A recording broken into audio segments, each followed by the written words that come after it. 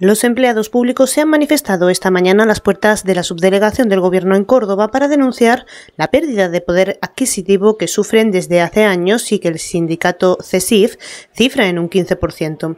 Con esta concentración se inicia un calendario de movilizaciones que se consolida con una manifestación a nivel autonómico el próximo 22 de junio en Sevilla.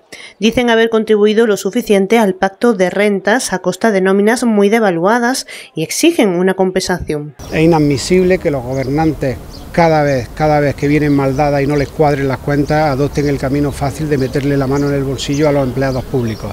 Empleados y empleadas públicas que cabe recordar que somos los que sustentamos los servicios públicos a la ciudadanía y también cabe recordar que hemos hecho un esfuerzo importantísimo durante la pandemia y no se nos está recompensando. Desde el sindicato se quejan también de la temporalidad que se sufre en el sector público y que alcanza un 29,2% de la plantilla, que en Andalucía supera el medio millón de empleados y en Córdoba los 47.000 trabajadores públicos.